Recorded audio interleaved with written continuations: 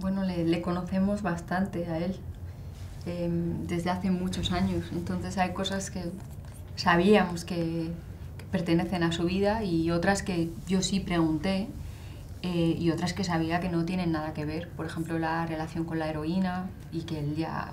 Claro, la prensa, esa fue una de las primeras preguntas que le hicieron. Evidentemente, pues eso, gracias a Dios, no ha estado en su vida, ni ahora ni antes.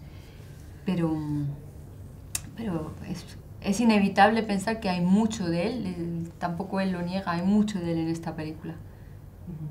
Digo porque quizás eh, la relación con una madre no es como lo más, eh, lo más cercano para una persona. Entonces, mm. si tuvisteis la sensación de estar entrando en su, en su intimidad, en lo más íntimo.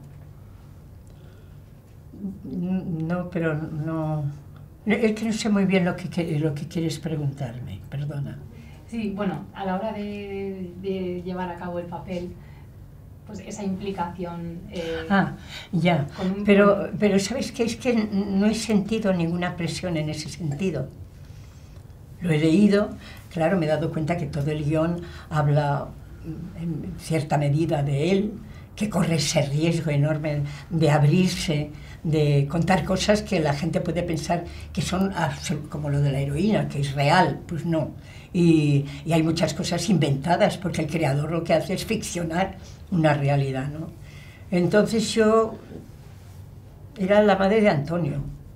Eh, nunca me planteé, ni él me dijo no, porque, porque no quería mm. para nada ningún tipo de imitación, ni, con, ni de Antonio, ni de Penélope, ni mía, de que tuviera relación con el personaje real. Entonces nunca, nunca tuve esa, esa impresión de tener, de tener que estar pensando qué hago, qué dejo de hacer, estará contento, no estará contento, le parecerá que estoy... No, no porque hubo una relación muy clara y muy...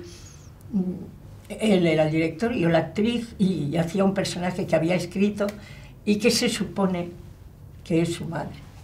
Mm quizás el compromiso ha sido mayor o el mismo, teniendo en cuenta todas las películas eh, de Almodóvar en, las que habéis participado. Yo creo que el mismo. O sea, es verdad que hay algo ahí flotando en el aire, ¿no? Que sabemos que ese personaje es importante para él, porque esa madre ha sido muy importante en su vida, pero...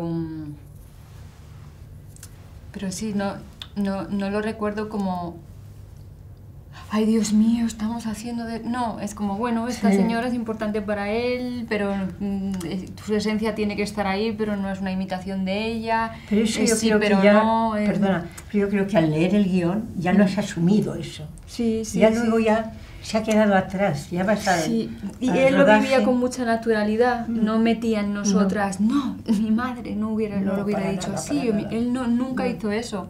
Él nos daba cosas que nos podían inspirar, nos podían ayudar. Con Antonio ha hecho lo mismo. Y eso era aún más complicado porque hay mucho de él. Pero Antonio no le pidió en ningún momento mm, que le imitara, ni, ni, ni, Antonio lo entendió así. ¿no? Y, es increíble lo que hace porque aún así pues, hay una energía ¿no? que, y hay una, esencia de, de, Pedro que está ahí en, el trabajo que hace él. Este es un viaje... Eh, de un protagonista masculino, pero que está rodeado de mujeres. Eh, las, se puede decir que Almodóvar, eh, en toda su cinematografía, ha sido quizás uno de los cineastas más comprometidos con, con, la mujer, ahora que se habla tanto de los papeles femeninos y de...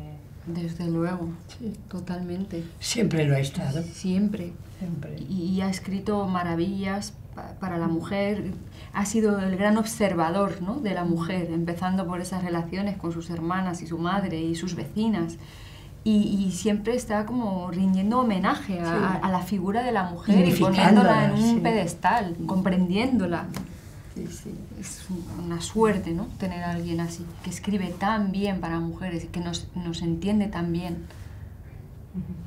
Eh, Julieta, quería preguntarte, eh, viendo tu larga trayectoria, eh, la retirada no es ni un propósito, ¿no? ni, una, ni, una idea.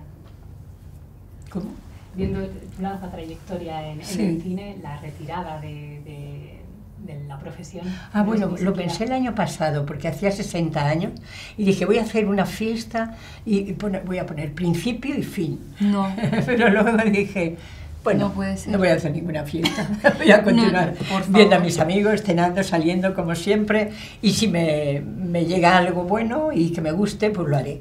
Y me llegó algo pues extraordinario, porque, bueno, pues me, me vino Pedro después de 27 años y fue un reencuentro pues, pues muy estupendo. Fue un reencuentro estupendo porque es que como si no hubieran pasado esos 27 años, que es curioso, ¿eh?